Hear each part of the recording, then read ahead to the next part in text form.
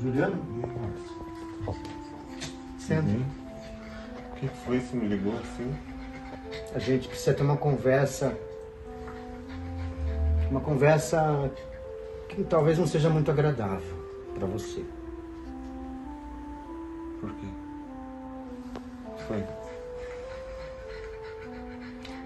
Jurandir, faz favor. Isso, Márcio? Então chegou a hora da verdade, né, meu amor? Meu amor? Que isso, Márcio? Olha, eu vou falar pra você, eu e o Jurandir, a gente.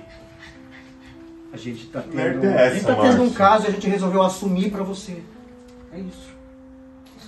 E assim você me conta? Pô, Você se enxerga, rapaz. Você enxerga o quê, cara? Se enxerga, rapaz. Agora, você? agora Ele tem meu um momento pra defendê-lo. Enxerga. Calma, calma, calma, calma, calma. A situação é a seguinte, Juliano. A situação é a seguinte, Juliano.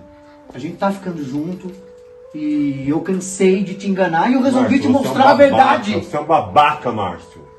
É, pode vazar daqui, pode vazar Te daqui. amei, Márcio. Que isso, Márcio? Assim que você me conta? Você já era, você já era, o Márcio é só meu agora. Deus, Juliano, sabe? Vamos fazer o seguinte. Vamos fazer o seguinte, ó. Márcio, eu te amo, cara. Que isso? Você Ó, tá vamos fazer o seguinte, vocês dois dizem. Ó, vocês dois, vocês dois dizem que me amam, não é?